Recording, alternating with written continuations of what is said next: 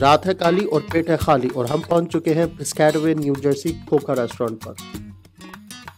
Seating capacity बहुत अच्छी है। The place is very neat and clean well maintained and very hygienic the highlight for me in the interior was the wall art जो कि represent करता है और highlight करता है हमारे देसी पंजाबी वन लाइनर्स को।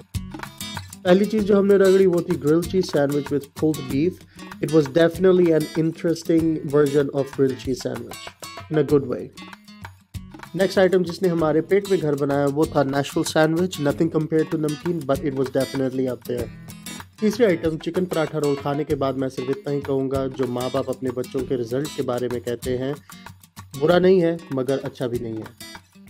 पार्टी में तो थी मोस्टली जेंट्री मगर आखिर में मारी एक टपोरी ने एंट्री जी, मैं बात कर रहा हूँ कुल्फ़ी मिल्क शेक की, जो कि एक पैसा वसूल आइटम है, और आप यहाँ जब आएँ तो कुल्फ़ी मिल्क शेक को ज़रूर ट्राई करें।